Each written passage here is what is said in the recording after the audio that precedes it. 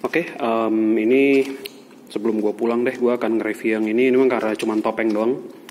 Dia ukurannya tidak lebih besar dari yang atau sama ya, mungkin sama kali ya, sama kayak apa namanya, sama kayak yang topeng Bima X kali ya. Karena gue inget yang Bima kan gede, tapi ini kayak ukurannya sebima X deh. Gue gue lupa sih, mas kayak gue nggak nyimpen topengnya di rumah juga, jadi gue agak susah untuk memberikan ininya tapi anggaplah ini ukurannya sama kayak yang Bima X.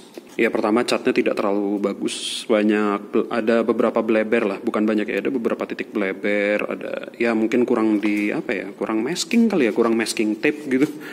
Biarlah tapi ini kayaknya sih susah satu tangan doang. Ini sih kayaknya dia plastik beningnya bagian visornya ini dia uh, apa namanya ditempel ke plastik hitam ini jadi dia plastik dasarnya hitam tapi terus di luarnya dicat merah, silver, emas dan hitam glossy. Terus talinya lebih jujur aja ya, talinya lebih meyakinkan daripada yang bandai. Sorry banget buat yang suka bandai tapi ini talinya lebih masuk akal daripada yang bandai. Uh, lalu dia bahannya keras.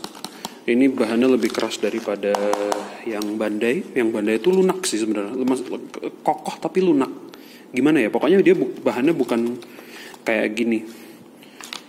Apa lagi yang bisa gue bahas? Ini harganya 16.700 karena gue inget gue bayar genep 50.000 sama figur yang yang udah gue review sebelumnya. Uh, ya ini 16.700 bandingannya sama Bandai adalah Bandai waktu itu topengnya 30.000 ini cuma 16.700 guys. Guys guys guys guys ya tapi gitulah. Apalagi yang bisa gue bilang soal topeng ini ya? Ya again ya lagi sih uh, catnya bukan yang terbaik tapi cukup lah. Kualitas catnya, bukan yang terbaik tapi cukup. Dan lagi-lagi uh, sederhananya ya representatif sama tokoh yang kalian tonton di TV oh ya di sini ada slit atau bukaan buat bagian mulut jadi kalian yang pakai ini masih bisa nafas dan ngomong. Ya itu sih yang bisa gue bilang soal topeng ini. Mungkin selebihnya habis ini cuman isinya apa slideshow gue pakai topeng ini. oh ya ini masih sama dapat brosur dan ini kemasannya ya. Nama produknya Hiromes masih buatan RKC, ada logo MNC dan RCTI.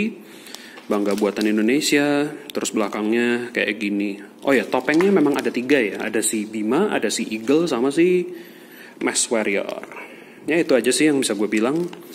Sekian untuk video kali ini. Sampai jumpa di lain waktu kalau gue tidak terlalu sibuk dan malas untuk ngerekam lagi karena emang ya itulah lain semoga lain kali gue bisa produksi video lagi. Sampai jumpa di lain waktu